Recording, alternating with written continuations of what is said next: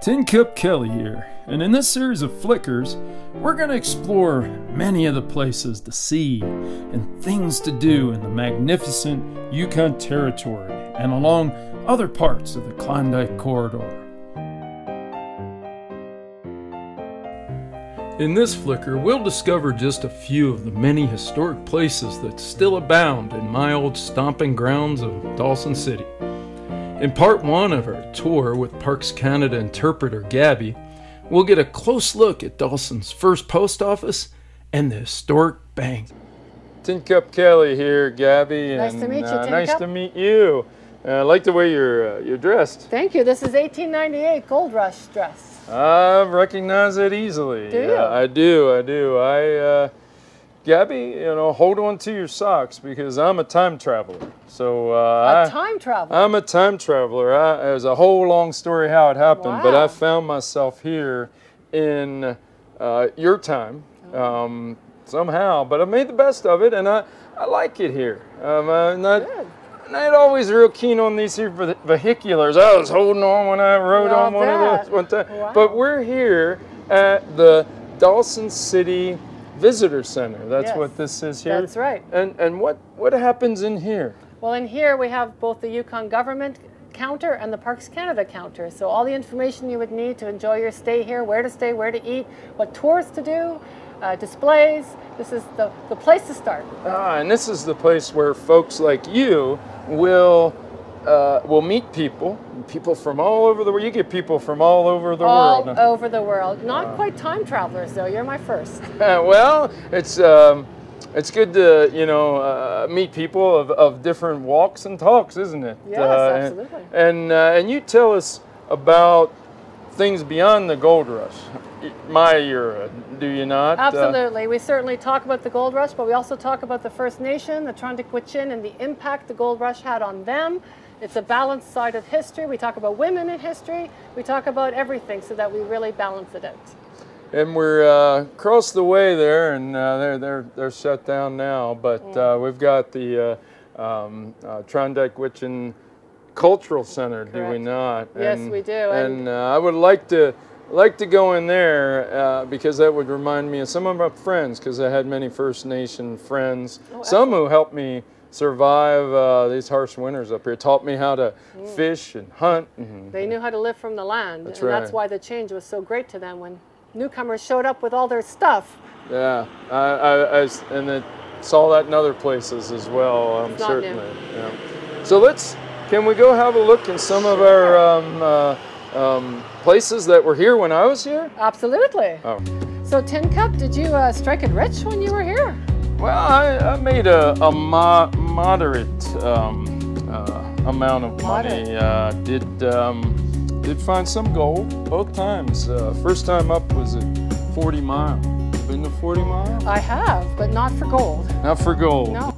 The former post office in Dawson's First opened in 1900. It was designed by architect Thomas Fuller, and its three story octagonal corner entrance sure stands out as a fine reminder of earlier days.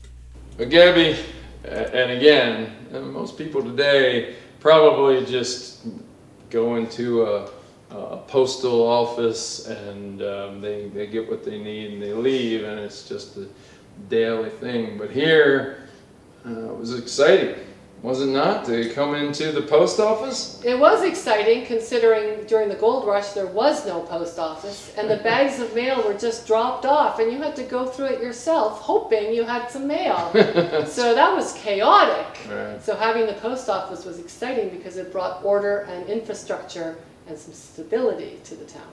And, and communication Communication. from Communication. the outside world. Absolutely. We're so used to instant communication now. You could wait a year in those days for a letter to let people know you were alive, uh, to find out if you were married or divorced. That's it took a year sometimes to Yeah, out. yeah, it, it, it made, made things even tougher for us in that we were out of communication. We didn't know what was uh, happening with our loved ones, and our loved ones didn't know what was happening with us. That's right. And even world events, it could pass you by. If the stern wheeler stopped running in the winter, Yeah, I, you know, I remember, I think uh, by the time I knew about the, you know, Spanish-American War, it had been going on for, uh, for a fair amount of time. And somebody said something about uh, us being, in, you know, involved in a war, you know, me, me being from the States. And I said, well, what war are we involved in? And uh, ends up that it was the, the big Right. Spanish-American War. Right. So, So really very important to have this communication, and this post office fulfilled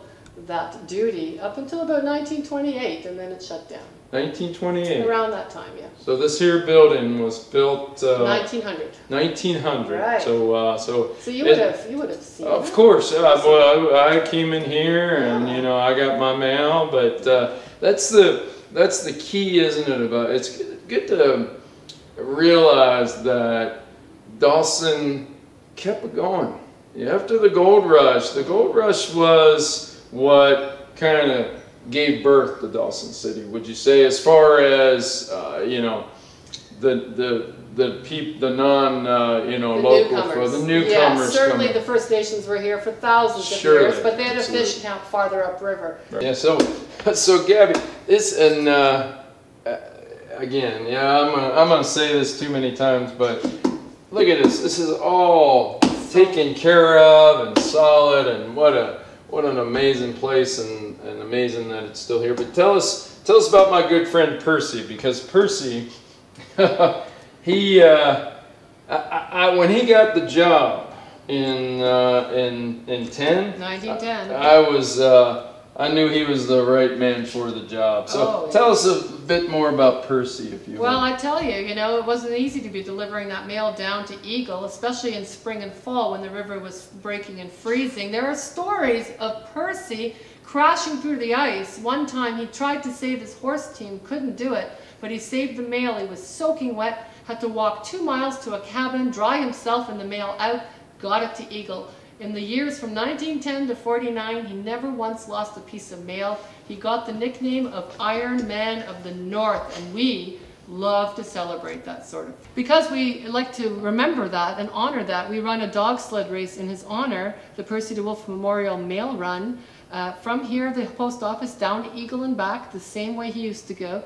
People take the mail down with them. It's a fundraiser for the race, and so you can still mail a letter by dog team.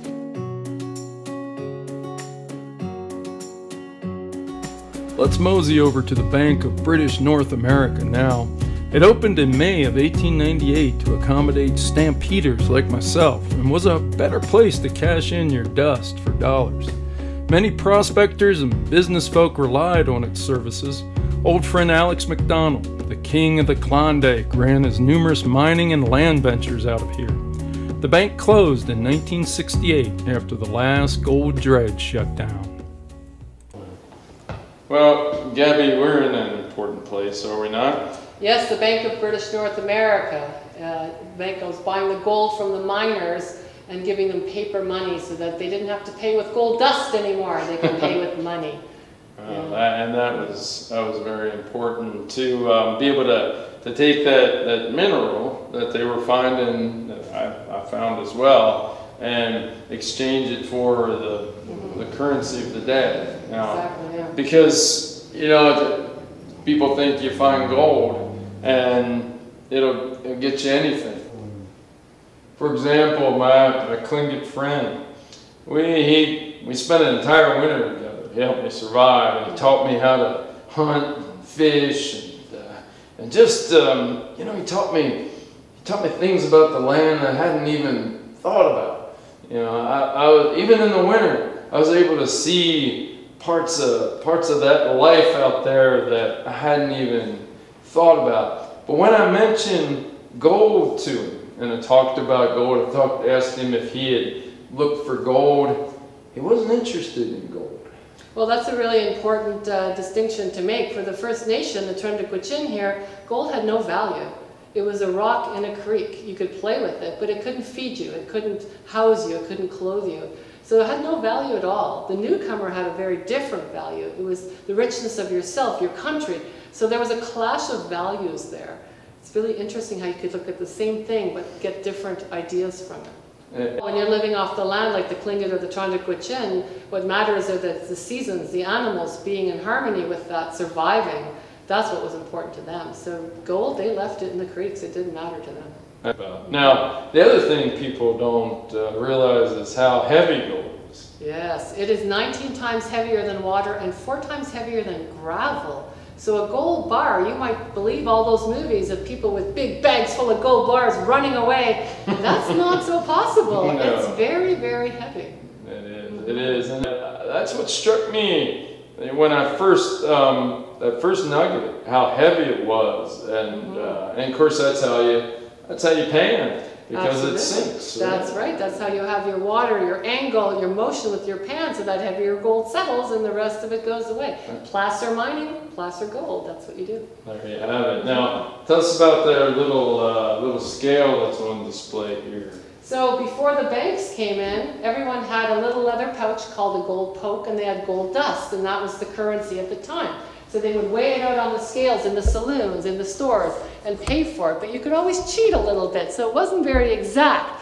Once the banks came in and you sold your gold and had money, that was a little more to what the South was doing, a little more normal to the economy. Uh, but back then, everyone had scales, everyone paid with their gold dusts. Now, um, so if I ask you how big your gold poke was, I'm talking about gold. Ah, my goodness. Yeah, there's riches to be had everywhere. if that value matters to you. That's right. And, and those that, you know, they, they would scrounge for it. Well, we know, we've, we've talked about it uh, before, how gold can uh, change a change a person. Change a, the just the, the quest for gold mm-hmm. um, can change a person uh, for the worse, um, not always for the good. And on the other hand, a lot of folks that came up here, uh, like myself, and like I said, I, you know, a, a moderate, uh, you know, amount of gold I found. But um, just this experience changed my life. Um, it wasn't wasn't just the wealth that changed my life. And there were, you know, and there were some fellas that came up here, and they weren't they weren't interested in mining the miners, and they weren't interested in the gold necessarily. They were interested in just an adventure. Wow. Oh, and there was much adventure to be had, absolutely. This was the last frontier, was it not? It was considered the last frontier from the newcomer's point of view, absolutely. That's, right. That's for sure. And sometimes when you go out there in the middle of nowhere, you realize just how last it is. There's a now, lot of wilderness out there. Now, Gaby, would you call this uh, still the last frontier? One of the last frontiers in a, in a place where people should... Uh, should get up here is if, if they're if they've they want to go somewhere and they want to experience a, a, a frontier a magical place is uh, is Dawson City in the Yukon a good? Oh I'd say absolutely which is why my one year is now 24 years. Oh, on our next tour with Gaby we'll explore the Palace Grand Theater and the Red Feather Saloon. See you then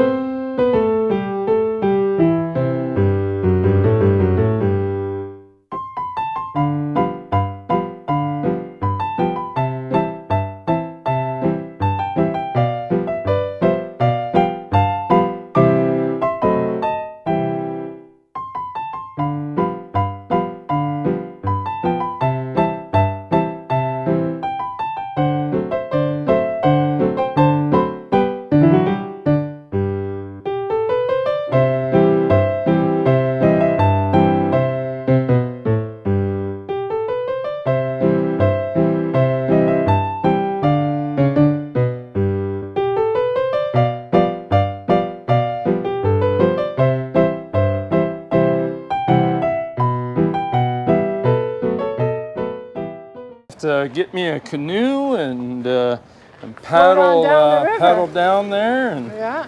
Uh, paddling back upriver might be a bit. Uh, I think you'd want some help. Uh, might might need yeah, a. we have motorboats now. Ah, you got vehicular boats. We got vehicular boats. Vehicular boats, ain't Absolutely. that something? Yeah. Well, uh, yeah. maybe we'll have to do that